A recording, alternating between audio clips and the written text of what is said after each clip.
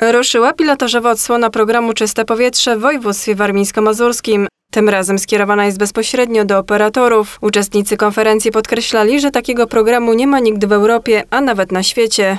Chcemy jeszcze bardziej upowszechnić e, program Czyste Powietrze. Oczywiście służą temu różne inicjatywy e, podejmowane wspólnie z wojewódzkimi funduszami ochrony środowiska i gospodarki wodnej.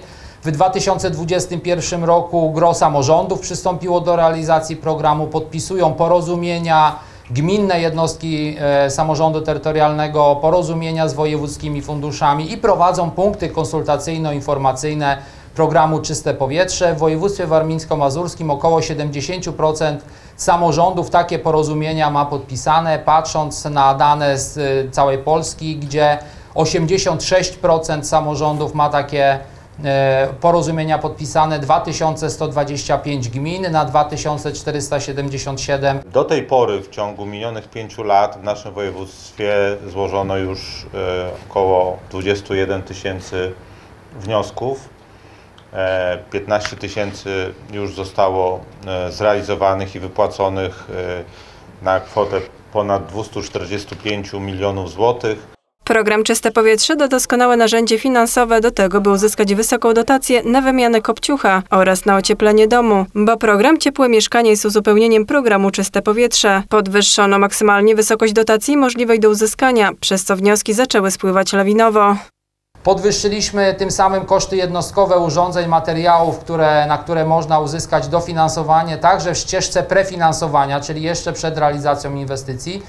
Spowodowały, że tutaj w województwie warmińsko-mazurskim tylko od 3 stycznia 3,6 tysiąca wniosków zostało złożonych na 182 miliony złotych.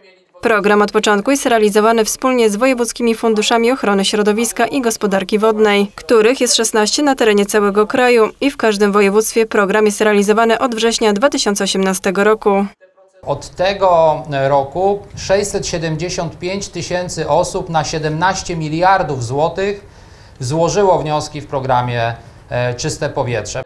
Przez najbliższe dwa tygodnie można składać wnioski trzech wyłonionych operatorów. Będzie wyszukiwać osoby, które do tej pory nie wymieniły pieców. Ich zadaniem będzie kompleksowa pomoc od złożenia wniosku do realizacji modernizacji. Wnioski mogą składać m.in. fundacje, stowarzyszenia, przedsiębiorstwa i związki wyznaniowe.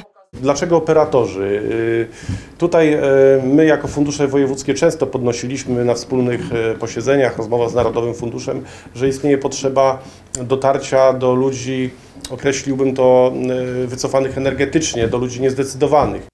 Operator wyszuka osoby, które będą mogły korzystać z programu Czyste Powietrze. Musi przedstawić walory programu, pomóc takiej osobie złożyć wniosek o dofinansowanie i pomóc przeprowadzić cały proces inwestycyjny. Usługa operatorów będzie bezpłatna. Operator za jednego klienta otrzyma do 1700 zł. Najwyższa kwota dofinansowania na dom to ponad 130 tysięcy złotych. Nabór będzie trwał do 18 września.